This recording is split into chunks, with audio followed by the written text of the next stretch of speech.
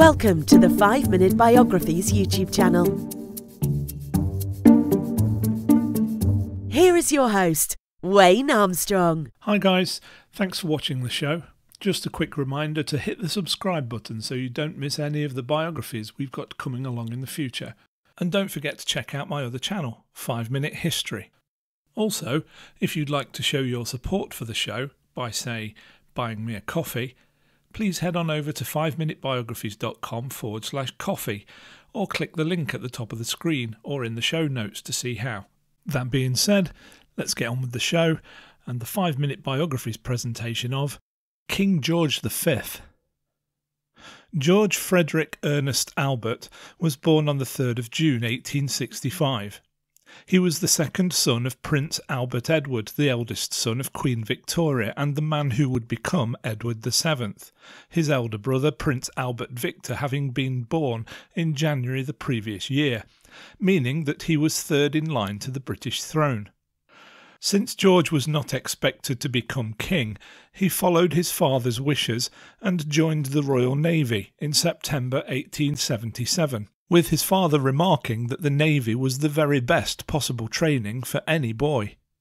During his time with the Royal Navy, George, along with his elder brother, who was affectionately known as Prince Eddie, was able to travel the world and got to see Great Britain's colonies and territorial possessions, and in doing so began to fathom the size of the empire that his brother would one day inherit. However, this was not to be, as tragedy struck the royal family when, just a few weeks after his surprise proposal of marriage to Princess Mary of Teck, George's brother, Prince Eddie, became ill with influenza during the pandemic of 1889 92. He developed pneumonia and died on the 14th of January 1892. This significantly changed the trajectory of George's life, as he was now in the direct line of succession to the British throne behind his father, and was created Duke of York by Queen Victoria on the 24th of May 1892. He spent a considerable amount of time comforting his brother's former fiancée, who was known as May within the family, and the two grew surprisingly close. Consequently, with the full support of the rest of the royal family, the couple ended up marrying on the 6th of July 1893. The happy couple travelled the world, and after the death of Queen Victoria on the 22nd of January 1901 and the crowning of his father as Edward VII on the 9th of August the following year, George became next in line to the throne and immediately inherited the title of Duke of Cornwall. For a while he was known as the Duke of Cornwall and York, but his father, the King, created him Prince of Wales and Earl of Chester on the 9th of November 1901 to begin the preparations for him to one day become King himself. During the early years of the 20th century, George toured British controlled India. It was while there that he saw how rampant discrimination was against the local Indian people. He became a strong advocate for ending this behaviour and championed the cause for ensuring that Indian people had more involvement in governing their own country. Unfortunately, George wasn't able to continue in his duties as Prince of Wales for very long, as on the 6th of May 1910 his father, King Edward VII, died. At that point, George became king and was officially crowned as King George V on the 22nd of June 1911. The early reign of King George V was mired in national politics as the House of Commons sought to curtail the political power of the unelected House of Lords, which had rejected the people's budget in 1909, resulting in elections being held the following year to get the budget through. King George V gave royal assent to the Parliament Act on the 18th of August 1911, which removed the House of Lords' right to veto many kinds of bills, including budgetary ones. National politics was set aside for a while, though, a few years later with the assassination of Archduke Franz Ferdinand on the 28th of June 1914 and the outbreak of the First World War. King George V is said to have hoped to God that it may all be over soon, but the Great War, as it became known, was not swiftly won and dragged on for four years.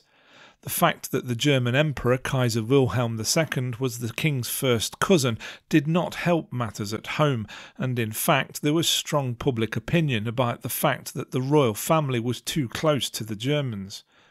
It didn't help that the family name itself was indeed derived from territories within a duchy ruled by a branch of the House of Wettin in Germany.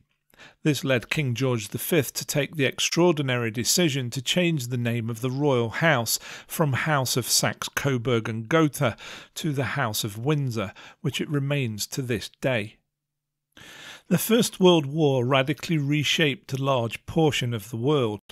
Whereas most of Europe still had ruling monarchs, many of whom were related to each other at the start of the war, this came crashing down by the time the war ended in 1918, and with the end of the monarchies in Greece, Austria, Spain, Germany, and others, the European map was redrawn, leading to an upswelling of various kinds of different governments, including democracies, communist rule, socialism, and republicanism.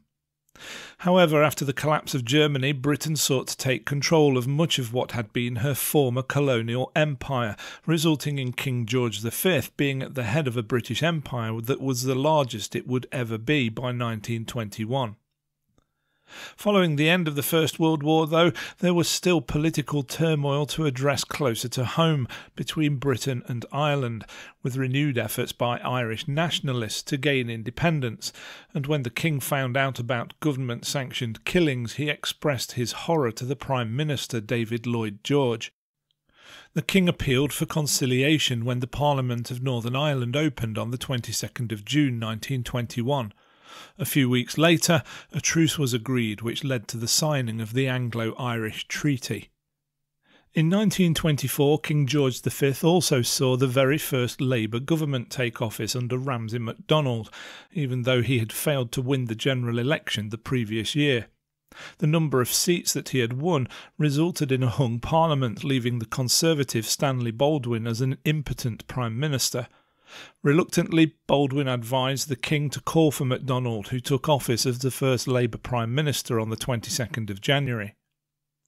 King George V's final and probably most significant act was to give royal assent to the Statute of Westminster in 1931, which established independence in law for the self governing parts of the British Empire from the UK, thus establishing what became known as the British Commonwealth of Nations.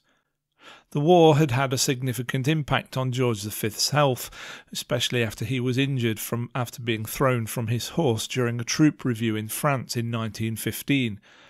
This, coupled with his heavy smoking habit, meant that he continually suffered from chronic bronchitis, and at the behest of his doctors in 1925 he went on a Mediterranean cruise to recuperate. Three years later, on the 28th of November 1928, he fell ill with septicemia turning over many of his official duties to his son for the next two years. However, on the evening of the 15th of January 1936, King George V complained that he had a cold and went to bed. He died at 11:55 p.m. on the 20th of January at the age of 70. Hope you enjoyed that episode of 5 Minute Biographies. If you did, please hit the thumbs up and don't forget to subscribe for plenty more videos to come.